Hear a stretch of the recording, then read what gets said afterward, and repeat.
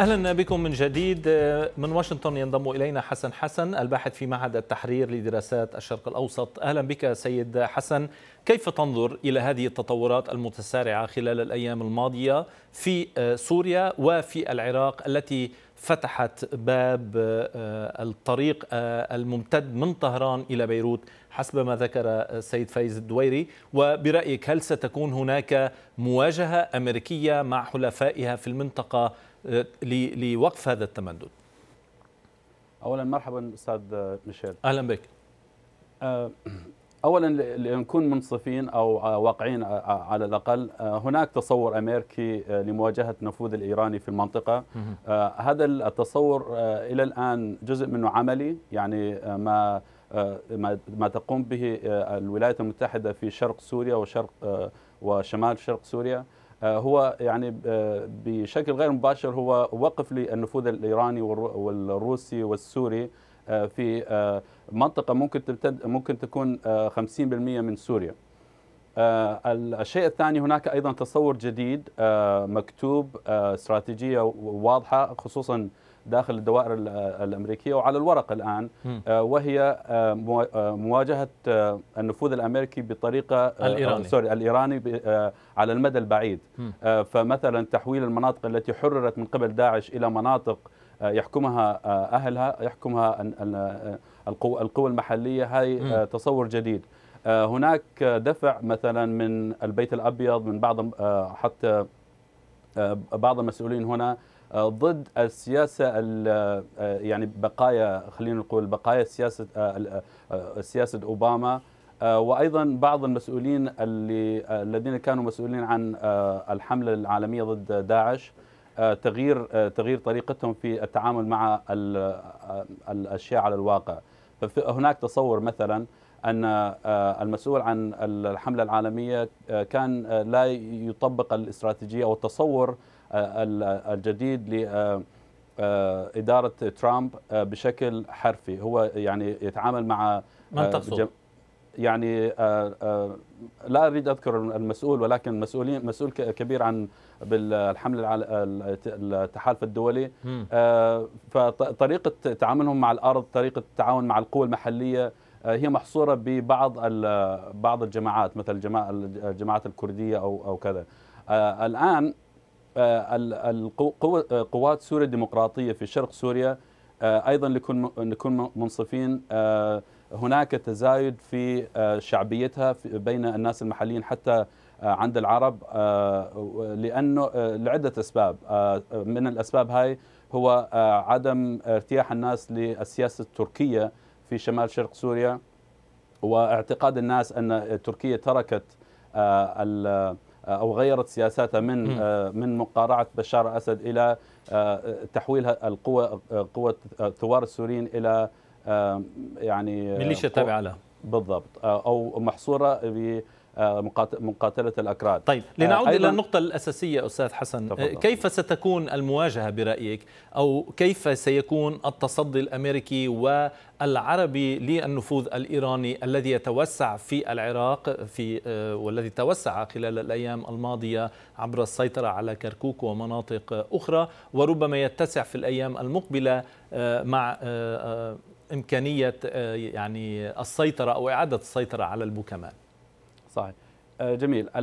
بشكل عام مواجهة النفوذ الإيراني بشكل شامل أتوقع صعب المنال. يعني م. إيران في صعود والنظام السوري وروسيا الآن يدخلون مناطق جديدة الميادين كما أشرت ودير الزور المدينة هاي مناطق مهمة. كان صحيح. يعني من من ثلاث أشهر فقط كان مسؤول الأمريكي بريت ماجيرك مثلا تكلم معنا قال إنه هاي المناطق خصوصا الميادين ستكون تحت النفوذ الأمريكي وتحت نفوذ سوريا الديمقراطية وليس روسيا والنظام. وهذا شيء جديد أنه روسيا دخلت أو إيران أو النظام السوري دخل تلك المناطق. ف يعني مقارعة أو تصدي للنفوذ الإيراني بشكل شامل هذا ما أتوقع واقعي. ولكن هناك بعض المناطق بعض النقاط التي يمكن أن يلعب يعني فيها الأمريكان بطريقة معينة بحيث أنه إيران لا لا تأتي إليه. وهذه المناطق كما أشرت مناطق اللي تسيطر عليها قوات سوريا الديمقراطية. وأيضا المناطق القريبة من الحدود الإسرائيلية الأردنية. أيضا المسؤول تحدث معنا عن معنا عن موضوع إنه روسيا قبلت أن أي قوات أو ميليشيات تابعة لإيران لا تأتي إلى تلك المناطق من حدود السويدة يعني قريب من التنف إلى الجولان تقريبا. هاي المناطق تكون بعيدة عن ولكن من يسيطر عليها؟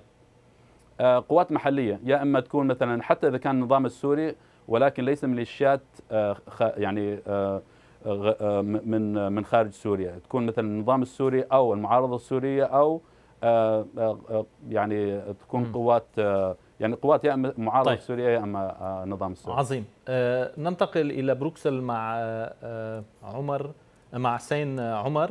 أهلا أستاذ عمر. برأيك كيف ستكون المواجهة المقبلة بين الولايات المتحدة وحلفائها ومن بينهم قوات سوريا الديمقراطية والقوى الأخرى المناهضة لهذا التحالف منها النظام السوري الميليشيات الإيرانية وإيران بالجهة المقابلة.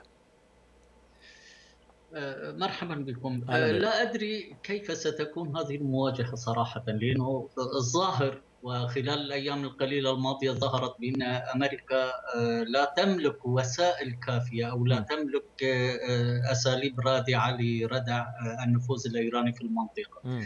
ردع النفوذ الإيراني يبدأ من العراق لنكن واضحين.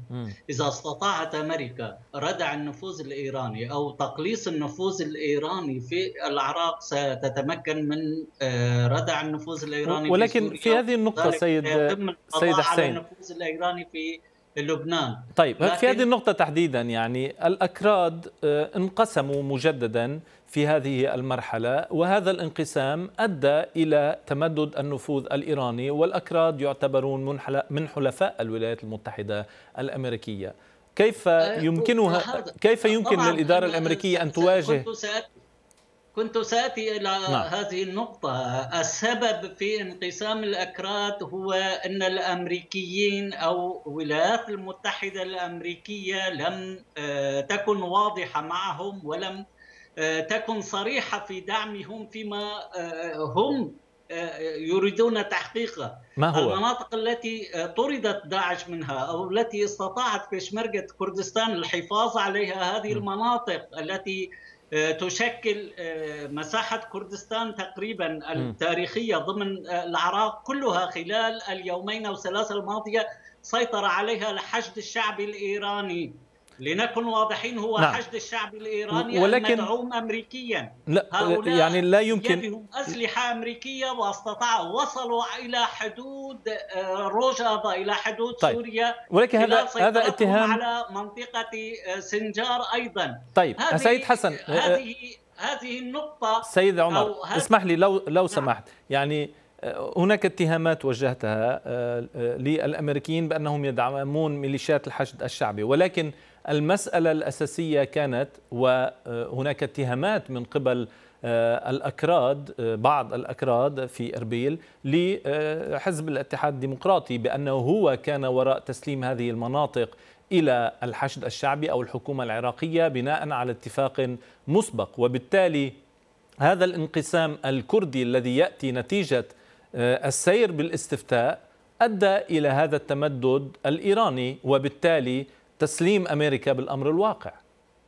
أعتقد إن المعادلة بعض الشيء مغلوطة لو بما أن الحزبين أو الحزبين الحاكمين في كردستان هما حلفاء الولايات المتحدة وعلاقات الولايات المتحدة. قوية جدا منذ عام 1991 وحتى الآن نعم. الولايات المتحدة هي التي حمت هذه المنطقة ووضعت مظلة فوقها كان بإمكان الولايات المتحدة التي فرضت عليهم وقف الاقتتال الداخلي الأهلي الذي استمر عدة سنوات وذهب ضحيتها عشرات الآلاف من الشهداء من الكرد أنفسهم. م. استطاعت أن تفرض عليهم وقف الاقتتال. كان بإمكان الولايات المتحدة أن تفرض على الاتحاد الوطني الكردستاني والاتحاد الوطني الكردستاني قريب جدا من الولايات المتحدة وله علاقات متينة مع الولايات المتحدة أن تفرض عليه أن يكون ضمن الخطة الأمريكية أو الخطة الموضوعة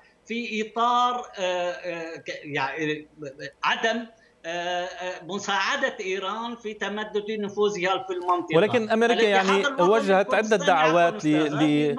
للرئيس جداً. الإقليم البرزاني بعدم السير بالاستفتاء كلا يؤثر ذلك على خطة محاربة داعش وعلى الاستقرار هناك وهذا لم يستجب إليه الأكراد. على كل سنتابع بعد الفاصل كونوا معنا.